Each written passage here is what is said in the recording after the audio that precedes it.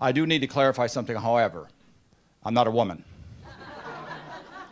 now, that may be stating the obvious, but many times when I speak out against the issues of domestic violence, I'm often asked, yeah, but isn't that strictly a woman's issue?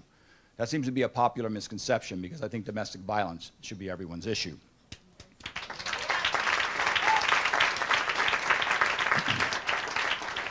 As a child who was once rescued and raised by his proverbial village, by true champions like each of you in this room, many of them women, I would like to accept this award on their behalf and to name a handful of them without whom I know I wouldn't be standing here in front of you. First, my mother, Olga Rivas, who endured 15 years of domestic terrorism that took place in a level of torture in her home, always throwing herself in the path of the storm to protect her children, and yet managing in her quiet, noble way to give us the values that helped all of her children break the cycle of violence.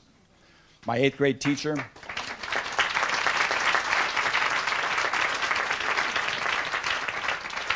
my eighth grade teacher who secretly bought me a school cafeteria meal card when my father was starving me. The aptly named Mrs. Rice kept me and my self esteem alive.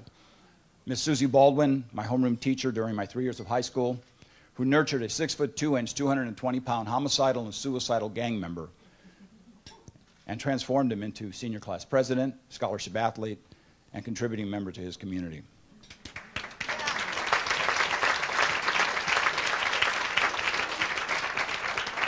Lillian Echeverria Bethay, who not only allowed me into, the, into her home, but she raised me as one of her kids. To all the women of the National Network to End Domestic Violence and Alianza, who have championed me as a spokesperson.